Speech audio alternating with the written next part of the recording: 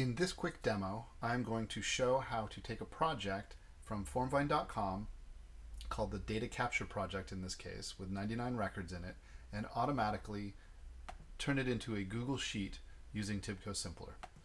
So the first thing that I will do is log into Tibco Simplr. Once I've done that, I can click on make a recipe and it will take me to the recipe builder.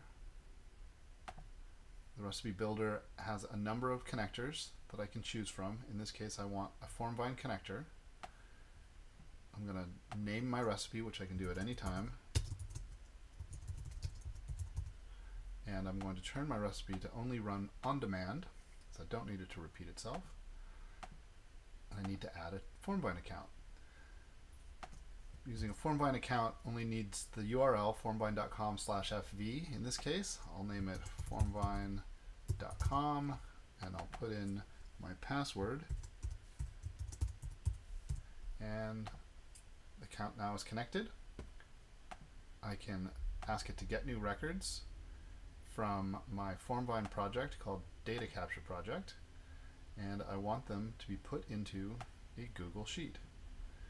Now I already have my Google Sheet account set up and I'm going to ask it to create a spreadsheet using data from my Form Formvine action into the data capture demo and that recipe is now complete. I can save it, close it, and run it. I'll tell it to run from the beginning of time to get all of the records. Job monitor is going to tell me that it is running in just a sec.